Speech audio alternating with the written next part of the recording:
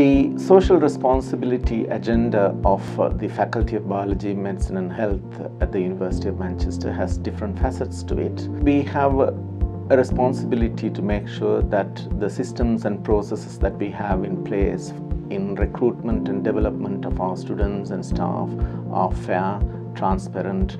Another important aspect of social responsibility is sustainability and we've got signature programs such as 10,000 Actions and Green Impact Fund, which will help individuals and teams to come together and make a change in their own special way to the university and to the world as a whole. In addition to that, we also have an exciting externally looking agenda uh, involving interaction with the communities that surround us. Something that's very important to us as a faculty and as a university is science communication. And once we engage these people, it's more likely that we'll have more young, bright people from all the different sorts of backgrounds coming into university. We will also interact very widely with the devolution agenda that is going on so that our research and our academics can have a broad input in shaping how the devolution agenda is shaped in, within Greater Manchester. Another important aspect is equality and inclusion and this is done by various different ways to make sure that career progression is enhanced for